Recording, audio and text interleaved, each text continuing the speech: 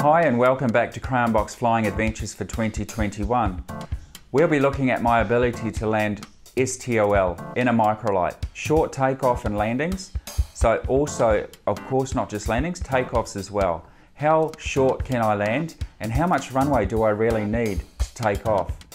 So keep watching for that, but before you do, maybe you want to go and look at the link above now and uh, check out the best most viewed videos, the top 10 for 2020 as seen by the viewers of the channel. And then you can come back and watch this one.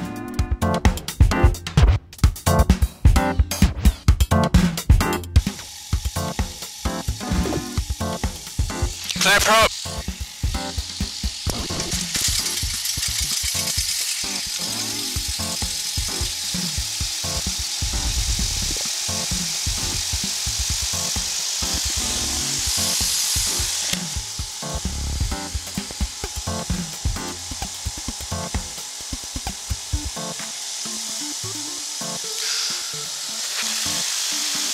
Morning we're going to practice short field landings. I'm uh, going to try and get it as short as I can.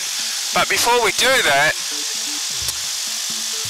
I've had a few uh, comments about this uh, turn back impossible turn, 180 degree turn uh, video that we're going to be putting out there soon.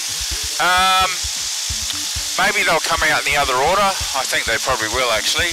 But the thing is, the safest way to practice this is go up to like two and a half thousand. 656, taxing for runway 35, Maryborough. Go up to two and a half or three thousand or some height you feel comfortable with and try turning up there. Find something on the ground in a safe area and um, use that as a reference line and then try power off and do a 180 degree turn and see if you can line up on the other side and see how much altitude you actually lose on the turn, the 180, and then you'll get an idea of how your aircraft is performing during that maneuver. Anyway, we're going to get on with it, so uh, let's do that. We're just warming up now.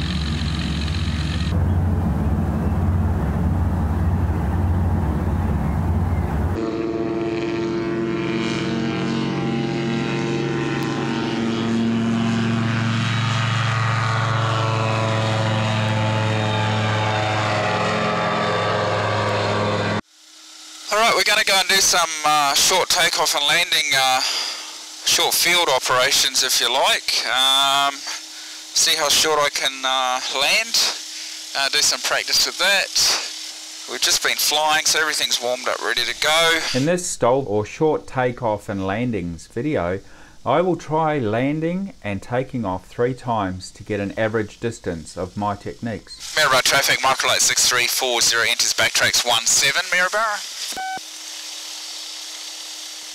The goal is to land as short as possible with a controlled, precise approach and careful monitoring of the airspeed, all very important.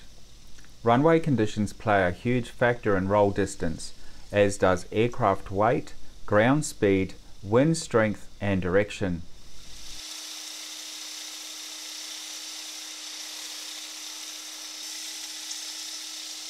Maryborough traffic, microlight 6340 lines up rolls, uh, 1-2 for uh, circuits, runway 1230 Maryborough.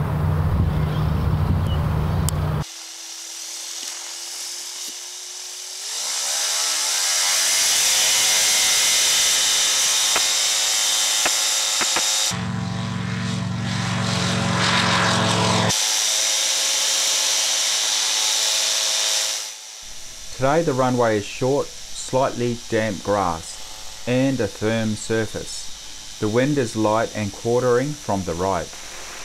Possibly the worst situation for ground roll. Conversely, the runway conditions favour the takeoff, but more headwind would help that though too.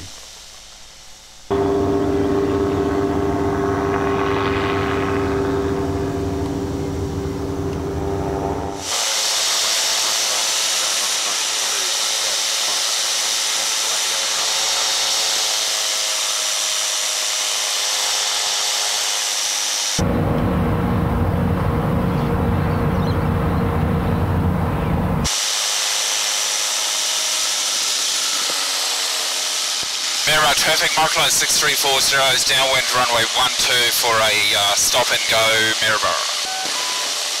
What we want to do is check landing site or the five S's seen listed in the description, factor in altitude or density altitude, check wind direction and use it to our advantage, plan the approach before final, land as close to the threshold as we can, approach at the slowest safe airspeed to minimize ground roll, modify our airspeed for wind gusts and gradients, ensure obstacles are not too high for approach and departures.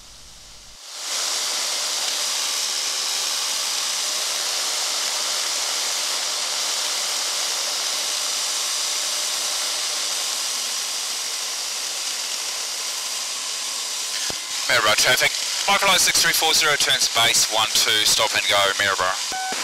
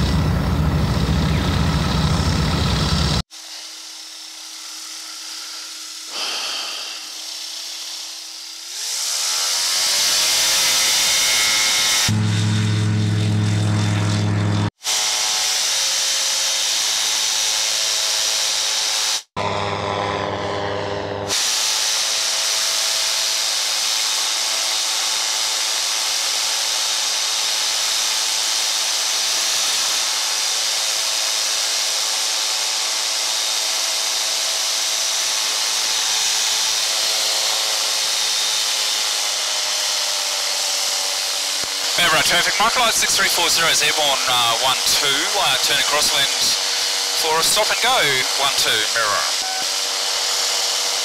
What we don't want to do is land too short of the threshold, land too long, or we will run out of rollout room.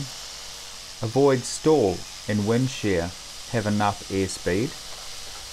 Land where we cannot take off again. Land on a site that is too short for landing and takeoff.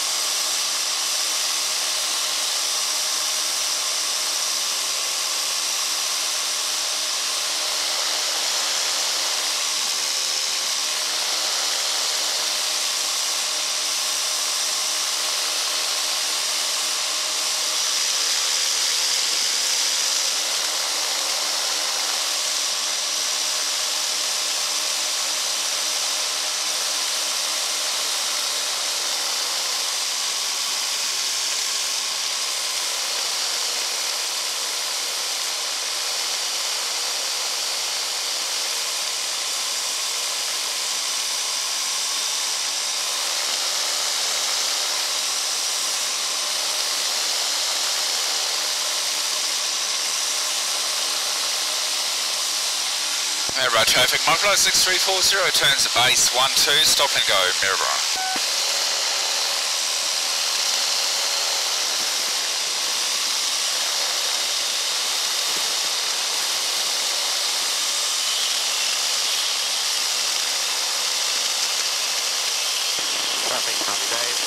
Bravo but short final runway, two and a half.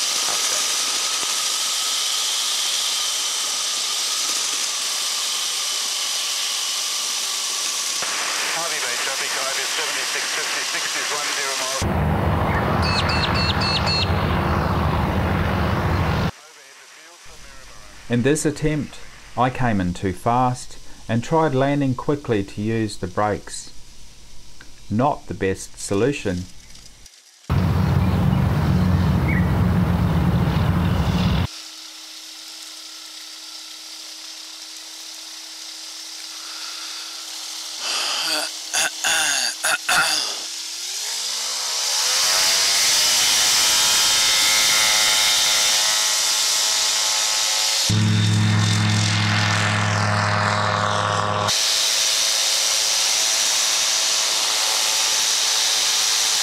I typically approach with a 50% above stall. This is 36 knots plus 18 equals 52 knots. Turns out to be the manufacturer's recommended minimum approach speed actually. I know I could approach slower when I need to, more practice with that later. I just don't want to bin the aircraft unnecessarily.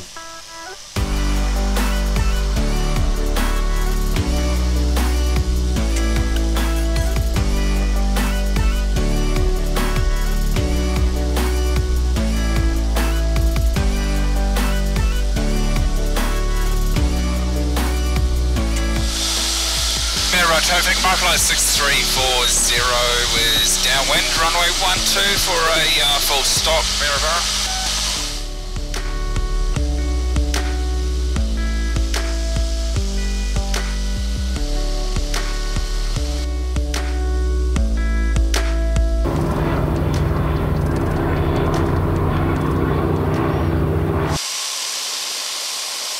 Maryborough traffic, Microlight 6340 turns base. One, two, full stop, Maryborough. On approach, constantly monitor your airspeed.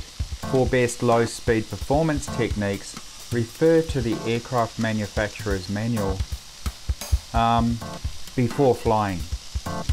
You can also try flying slow at a safe above ground elevation to see how the aircraft feels and responds. With the low crosswind conditions I had, I think the results were quite good. My average landing roll was 125 metres and takeoff about 70 metres. I reckon I can shorten the landing roll with some more practice. I need to come in slower. Well, we'll save that for another video. Check out the 5S's in the description. Very good to consider for all landings.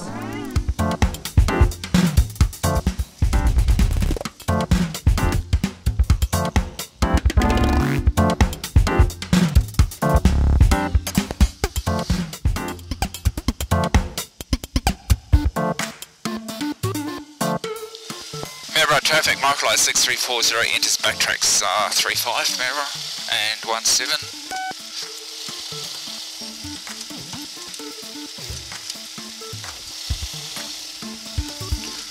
Alright, so that's STOL landings and takeoffs and everything like that. Uh, can probably improve on it, but like I've been doing, everything I do and everything we do as pilots can be improved upon. Um, we're now going to do a couple of other things while we're here filming. Um, I've got someone with a camera, tripod and everything filming what I'm doing from the ground, so uh, makes for a more interesting video. You've probably already seen some of those shots in this video. Maryborough traffic, Microlight 6340 is clear of all runways, Maryborough. So um, he's doing all the walking and the lugging of the camera gear this morning. We're just going to pull up over here and we'll continue filming a couple of other things and we're all done for the day. More videos like this, day trip style videos coming soon. It's been really good having you along this morning. Um, I hope you're enjoying these videos and if there's anything else you want to see let me know. I think training is very important with these types of things. If you're enjoying the videos, please give me a like on this one and any future ones that you enjoy. It really helps the channel grow and uh, bring me more, uh, bring me, bring you more content, something like this, and whatever you ask, we'll have a look at and give it a go.